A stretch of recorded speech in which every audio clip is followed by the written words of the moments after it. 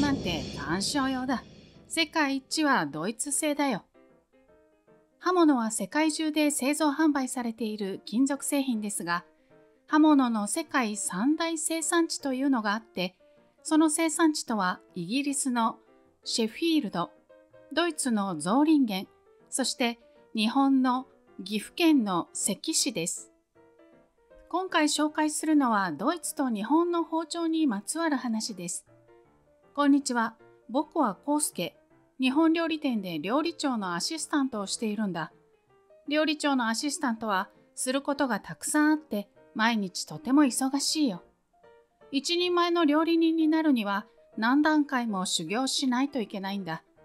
僕はまだ下っ端だけれど将来必ず料理長になるって強く思ってる。思いは必ず叶うって料理長が言ったよ。料理長も修行時代そう思って頑張ったらしいんだ。だから僕は今自分のできることを精一杯やろうと思ってるよ。今僕が一番関心があるのが包丁なんだ。包丁は料理人にとっては命だと思うし、今からいいものを見分けられる目を養いたいと思うんだ。包丁は料理人の命だというのは料理長の受け売りだけれど、料理長のアシスタントをしていて、料理長の包丁さばきを見ていると、料理長は本当に包丁を大事に扱っていることがわかるよ。僕は包丁の歴史から種類など、今のうちに調べておこうと思った。日本で一番古い包丁は奈良時代のもので、正倉院に保存されているんだ。人間の文化は道具を使ったことから始まったんだね。人間が最初に道具として使ったのが石器なんだ。その石器は今の包丁やナイフと同じような使われ方をされていたんだね。だから石器が包丁の始まりってわけだ。最古の包丁が正倉院に保存されているんだけど、包丁は研ぎ直して使うから、言ってみれば包丁は消耗品なんだね。僕も毎日包丁を研いでいるよ。包丁は奈良時代以前にも存在していたらしいんだ。消耗品だから奈良時代以前のものは残っていないんだね。それで最古の包丁は刀のような形で柄がとても長かったんだって。この刀のような形の包丁は江戸時代の中頃まで使われていたんだ。今のような包丁の形になったのは江戸時代の中期から後期にかけてらしいよ。江戸時代は世の中が安定していて、様々な文化が発展したんだ。そんな世の中で調理文化も花開いて、包丁などの調理道具も進化していったんだね。明治時代になると文明開化で外国からいろんな調理方法が入ってきて、それとともに洋式のナイフが広まったんだ。日本にはもともと牛を食べる習慣がなかったから、牛をさばく洋式のナイフを牛刀包丁と呼んだんだね。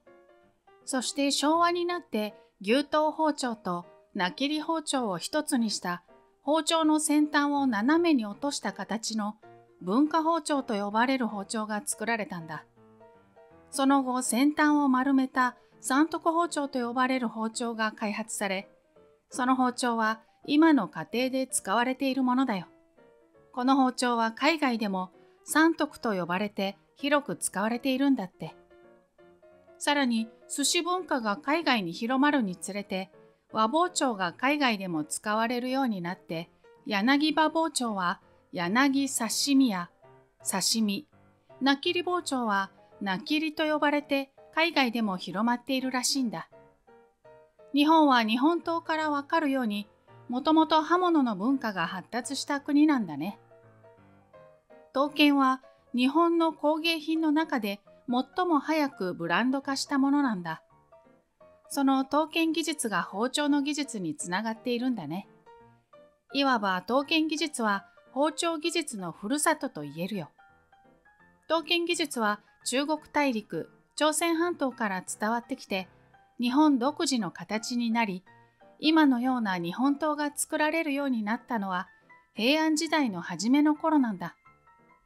明治時代になると刀が廃止されて軍刀しか作られなくなり、第二次世界大戦後、文化財保護法が制定され、今は美術工芸品として日本刀は製造されているんだね。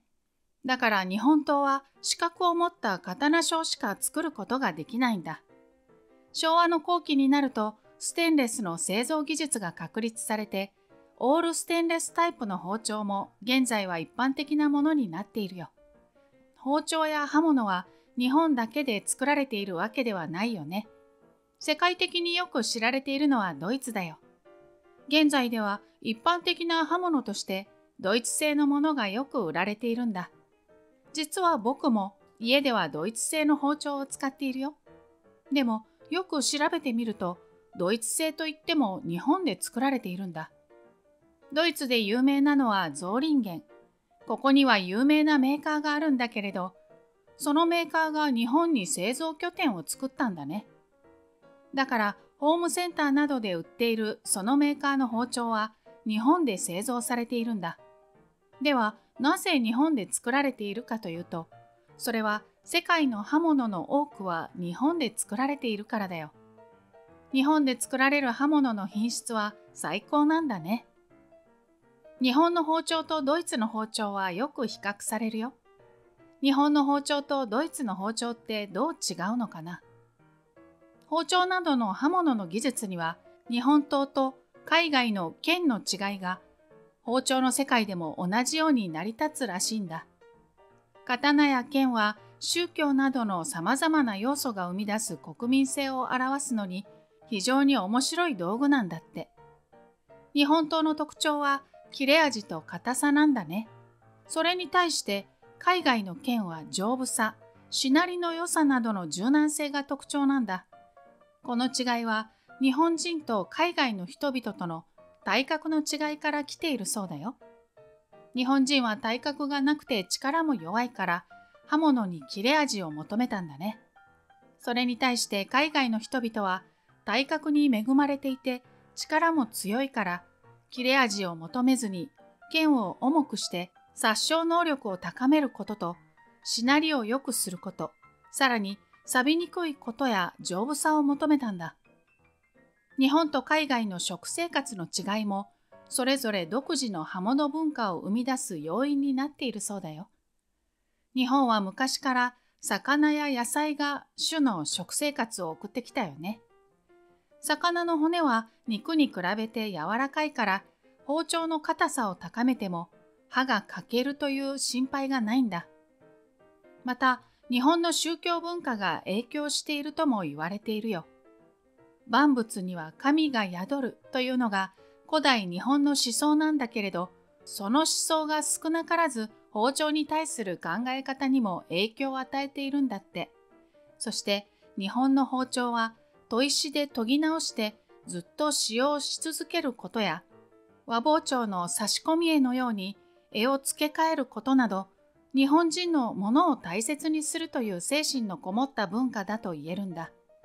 包丁は日本人のものを大切にするという精神のこもった文化というのは本当にその通りだと思う。僕も包丁をそういう精神を念頭に心を込めて研ぎたいと思った。日本の包丁は柔らかいものを切るには切れ味がいいから適しているけれど、硬いものを切ると切れ味が鈍ってしまう。だから研ぐ必要があるんだ。包丁を研ぐのは僕の仕事だから気持ちを込めていつも研いでいるよ。日本の包丁は2種類の異なる素材で作られていて、その特徴は切れ味と耐久性。日本の包丁は独特の模様を持つものもあって、実用性とともに美しさも評価されているんだね。だから日本製は鑑賞用でしょって揶揄されることがあるんだ。確かに日本の包丁には美しいものがあるよ。だからといって切れ味が落ちるというようなことはないよ。日本の包丁とドイツの包丁を比較した投稿が寄せられているんだ。日本の包丁はうっとりするくらい美しい。ドイツの包丁は仕事道具。食材を正確に切ろうと思ったら何よりも切れ味が大切。日本製を選ぶと思うわ。それに日本人が作るものは完璧よ。僕は日本製もドイツ製もどちらも持ってるよ。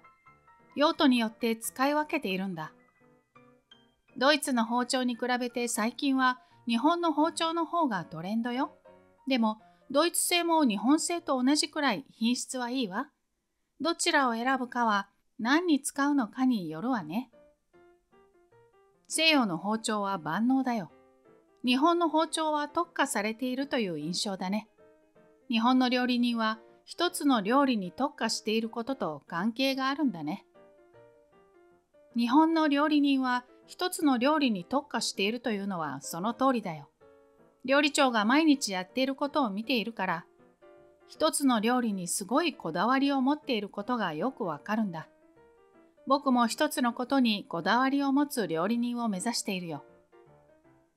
日本製もドイツ製も料理に使うという目的は同じよ。ただ利用範囲が違うのかな。野菜を切るときは日本製、骨付き肉を切るときはドイツ製と使い分けているよ。一般家庭で使うならドイツ製がいいわ。シェフとかが使うなら日本製かな。ドイツの刃物は硬さと柔軟性を合わせ持っているんだ。ドイツの包丁は硬さと柔軟性を持っているから、硬い骨を切っても刃こぼれの心配がないんだね。私は質の良さと切れ味ではわずかに日本製の方が優れていると思うわ。でも、長い目で見ると、ドイツ製の方が耐久性があるように思うの。だから、選ぶときは何を切るのかということを基準にした方がいいよね。僕はドイツ製の包丁の方が使いやすいよ。手が小さいからなんだろうけれど。ドイツ製のものはどれも好きだよ。日本製とドイツ製では確かに利用範囲が違うよね。日本製、ドイツ製の特徴から野菜を切るとき、骨付き肉を切るときと使い分けるのは正しいと思うよ。まあ仕事ではドイツ製は使わないけれど、家ではドイツ製を使っているので、骨付き肉を切るときはいいよね。確かに何を切るかで選ぶというのはその通りだと思う。僕は日本製を買ってよかったって心から思っているよ。誰にでも絶対にいいよとおすすめできる品質だよ。日本製もドイツ製もどちらも持っているよ。砥石は日本製だけれどね。僕はずっとヨーロッパのブランドを使っていたけれど、日本のメーカーのものを一度使ったら、そちらの方が断然使い心地が良くって、今は切り替えたよ。僕のキッチンライフを一変させてくれた。世界のシェフのほとんどは日本製を使っているよ。シェフがドイツ製を使うことはほとんどない。料理人は日本製の包丁を好む傾向にあるんだ。私の家には日本製とドイツ製、それにフランス製の包丁もあるわ。日本の包丁はヨーロッパのものに比べて刃が細かいし研ぎやすいという特徴があるの。日本のメーカーの包丁は最高だよ。長時間使っても手が疲れなくて快適に使えるものは日本のメーカーのものだけだよ。残念なことだけれど、今のドイツ製の多くは中国で作られている。ドイツで作られているのは高級品だけだ。いろんなことを言ってるけれど、どちらも中国製なんだろう？私は美しさなら断然日本製が勝っていると思うわ。それは確信して言える。日本製が全ての面でドイツ製を上回っている。軽いし、扱いやすいし、そして何よりも美しい。僕が思うには、ドイツ製の包丁は新人シェフにおすすめなんだね。安くてメンテナンスが楽だからね。日本の包丁は人を魅了するものがあるんだ。だから経験豊富なシェフは間違いなく日本の包丁を使う。日本の包丁の美しさを褒めるコメントがあるよね。だから日本の包丁は鑑賞用でしょと言われるんだね。ドイツの包丁が僕のような新人シェフにおすすめかどうかわからないけれど、料理長のような経験豊富なシェフには絶対に日本の包丁だよ。というか、日本の包丁しか使わないよ。日本製の包丁とドイツ製の包丁との違いは、日本の刀と西洋のロングソードの違いと同じことだよ。これは日本の刀の歴史と西洋の剣の歴史の違いだね。こういう指摘をするコメントもあるんだ。よく調べていると思ったよ。私は昔はドイツ製の包丁を使っていたの。でも今は日本製に変えたわ。理由は日本製の方が使いやすいから。でも私の祖母が40年間使っている中国製の包丁も使っているの。祖母はこの包丁がいいって言ってるわ。日本製はドイツ製に比べて耐久性に劣るって言われているけれど、しっかりメンテナンスすれば日本製も一生使えるよ。僕は以前から日本製一択なんだ。聞くまでもないくらい圧倒的に日本製なんだね。僕はドイツ人だけれど、ドイツ製の包丁が好きじゃないんだ。なぜかっていうと、見た目も使い勝手も日本製ほど良くないし、安い素材を使っている割には値段が高いからだよ。包丁に関しては私は日本にはライバルはいないと思うわ。みんないろんなことを言ってるけど、日本製とドイツ製の包丁だよ。どちらも最高品質の包丁に決まってるだろ。私は日本製の包丁もドイツ製の包丁もブランドにかかわらず全てが素晴らしいと思うわ。どちらを選ぶかは結局は用途次第だと思うのね。僕も最後のコメントとほぼ同意見だね。日本製の包丁もドイツ製の包丁もどちらも使っているけれど、どちらも素晴らしいって思うよ。用途次第で使い分ければいいと思う。世界最高の包丁を作る国は日本とドイツのどちらかといえばコメントを読んで僕は思ったんだけれど日本もドイツもどちらの包丁も素晴らしいよ。どちらを選ぶかは用途次第って僕も思ったよ。